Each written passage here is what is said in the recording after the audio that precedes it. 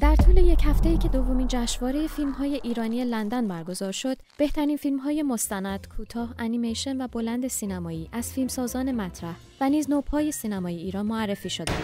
فیلم برخورد خیلی نزدیک که اولین فیلم سینمایی اسماعیل میهندوس می باشد داستان پرمعمای یک تصادف در بزرگراه است روایت نامتعارف و غیرخطی این فیلم بازی های ذهنی چهار شخصیت اصلی داستان را آشکار می کند و به رابطه دو زن که قبلا با هم دوست بودند می پردازد میهندوس توجه ویژه جامعه جهانی به اوضاع و احوال ایران را یکی از دلایل اهمیت پیدا کردن سینمای ایران می‌داند. و طی سالهای اخیر کنجکاوی که در سطح جهان نسبت به اصولا جامعه ایران وجود داشته سینماش هم مورد توجه قرار گرفته و صنعت سینما تو ایران پیشرفت قابل ملاحظه‌ای را داشته. که شما اغلب جشنواره جهانی رو ببینید به هر حال یک فیلمی از ایران شما در اونجا مشاهده می‌کنید.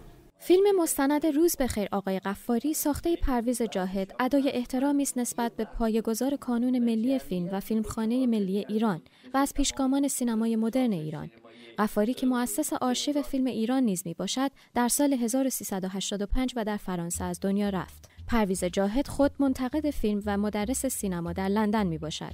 قفاری، گلستان و فیلمسازانی مثل او در واقع تلاش می کنند با کارهایی که متفاوتی که ارائه می کنند فضای سینما ایران را عوض کنند و جریان جریان های جدید به وجود بیارند در سینما ایران و اینها در به گمان من موج نوع ایران رو در واقع پایگذاری کردند با فیلم های خودشون و با نوشته هاشون با کارهایی که کردند این یک فیلم نیست. ساخته جعفر پناهی به یک روز از زندگی این کارگردان در منزلش در آپارتمانی در تهران می‌پردازد. این فیلمساز به خاطر مسائل پس از انتخابات اخیر ایران برای 20 سال از فیلمسازی محروم شده است.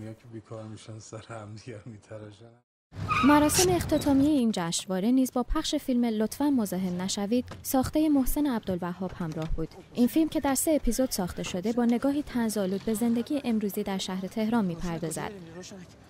تکلیفم چی میشه آجا؟ هیچی. بفرمایید زندگیتون. با نگاه به فیلم جدایی نادر از سیمین ساخته اسقر فرهادی که جایزه بهترین فیلم سینمایی این جشنواره و نیز خرس طلایی برلین را کسب کرده است می توان گفت که سینمای ایران این روزها توجه بسیاری را به خود جلب کرده است.